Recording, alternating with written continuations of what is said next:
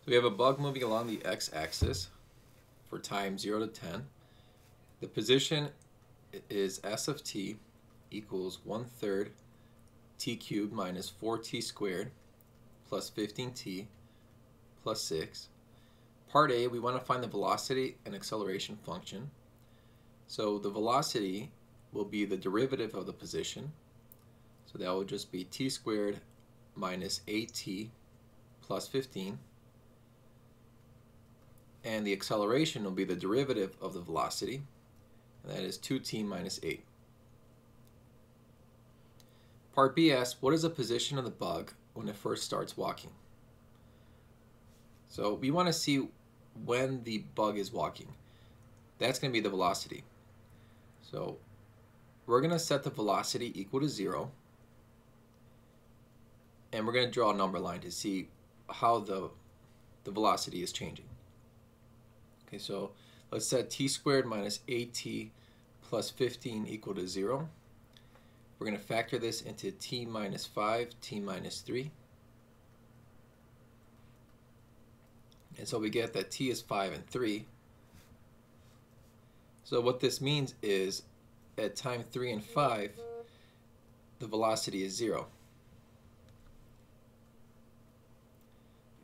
So we want to have the bounds from 0 to 10 because that's what t is from. Now if you pick a value to the left of 3, let's say 1, if you plug it in either to this equation or this equation, you end up getting a positive number. If you pick a number between 3 and 5, let's say 4, plug it in, you get a negative. And if you pick a number from 5 to 10, let's say 6, plug it in, you get a positive number. So just drawing this out will help us answer a couple of these questions. Okay. Part B asks, what is the position of the bug when it first starts walking? Okay, the position, uh, basically it's asking for the position at time zero because that's when it starts walking. It's The velocity is positive, so that means the the bug is moving in the right direction. So plugging it into this formula, we know that 1 third t cubed, 4t squared, and 15t will cancel, and we're left with 6. Part C, at what time is the bug stopped? So that's when the derivative is 0, which we found here, which in other words the velocity is 0. So that was at time 3 and 5. And what intervals is the bug walking to the left? Justify your answer.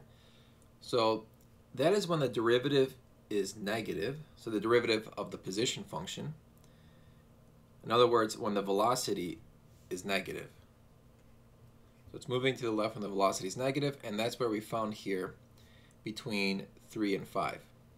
And you do not want to include the endpoints because the velocity there is 0 and the bug is not moving. So we'll say 3 to 5 because VFT is negative.